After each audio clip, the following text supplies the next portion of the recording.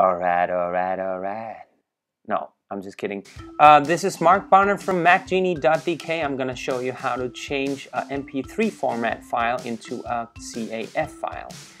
This file works on iMovie on your iPhone. So what I've done is actually place the file inside my iCloud Drive and then on my iPhone within iMovie app, I can actually add this music track to my video.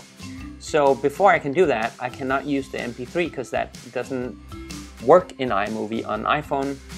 So this is the guide. I'm gonna delete this for now. And um, my system is in Danish, so bear with me. So this MP3 file, I found this cool website, developer Apple.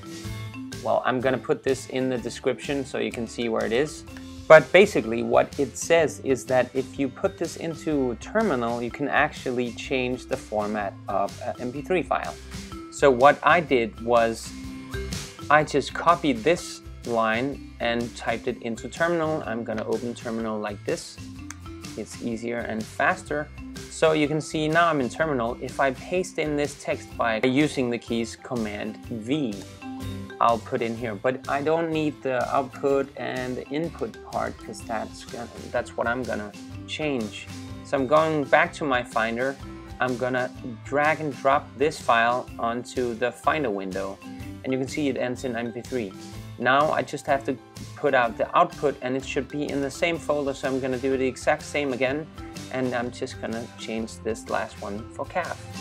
I'm gonna click enter and then it creates the file and you can actually see my iCloud drive is already working uh, changing the file, uploading it to iCloud.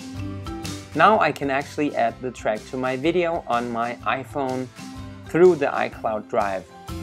Thank you for watching. My name is Mark Barner from MacGeni. Remember to subscribe below or check the comments if you want help from other people. You can also check descriptions to see the link for this website. And uh, thank you for watching.